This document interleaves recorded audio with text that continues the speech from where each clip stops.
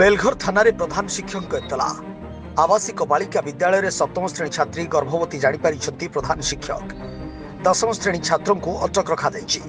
କନ୍ଧମାଳ ଜିଲ୍ଲା ତୁମୁଡ଼ିବନ୍ଧ ବ୍ଲକ ବେଲଘର ଥାନା ରାଙ୍ଗାପରୁ ସରକାରୀ ଆବାସିକ ଉଚ୍ଚ ବାଳିକା ବିଦ୍ୟାଳୟର ଜଣେ ସପ୍ତମ ଶ୍ରେଣୀ ଛାତ୍ରୀ ଚାରି ମାସର ଗର୍ଭବତୀ ହୋଇଥିବା ବେଲଘର ଥାନାରେ ଅଭିଯୋଗ ହୋଇଛି।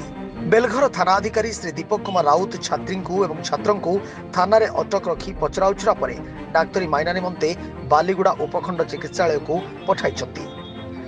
ଛାତ୍ରଙ୍କ ଘର ଗୁମା ଗ୍ରାମ ପଞ୍ଚାୟତ ସୁକାଭଟା ଗାଁରେ ହୋଇଥିବା ବେଳେ ଗୁମା ଆବାସିକ ଉଚ୍ଚ ବିଦ୍ୟାଳୟର ସେ ହେଉଛନ୍ତି ଦଶମ ଶ୍ରେଣୀର ଛାତ୍ର।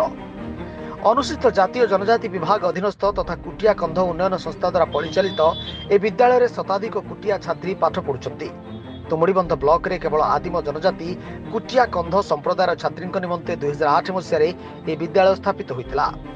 ଛାତ୍ରୀମାନଙ୍କ ଉନ୍ନତି ଶିକ୍ଷାଦାନ ସମସ୍ତ ପ୍ରକାର ରକ୍ଷଣାବେକ୍ଷଣ ନିମନ୍ତେ ଆବଶ୍ୟକୀୟ କର୍ମଚାରୀମାନଙ୍କୁ ନିଯୁକ୍ତି ବି କରାଯାଇଛି ଜନଜାତି ଛାତ୍ରୀମାନଙ୍କ ସୁରକ୍ଷାକୁ ନେଇ ଏବେ ସେହି ଅଞ୍ଚଳରେ ଉଠିଛି ପ୍ରଶ୍ନ ବିଦ୍ୟାଳୟର ପ୍ରଧାନ ଶିକ୍ଷକ ଶ୍ରୀ ସତ୍ୟବାନ ସିଂ ସପ୍ତମ ଶ୍ରେଣୀରେ ଅଧ୍ୟୟନ କରୁଥିବା ଛାତ୍ରୀ ଚାରି ମାସ ଗର୍ଭବତୀ ବିଷୟରେ ପରିବାର ଲୋକଙ୍କୁ ଡାକି ଥାନାରେ ପହଞ୍ଚି ଥାନା ଅଧିକାରୀଙ୍କୁ ତଦନ୍ତ ନିମନ୍ତେ ଅନୁରୋଧ କରିଛନ୍ତି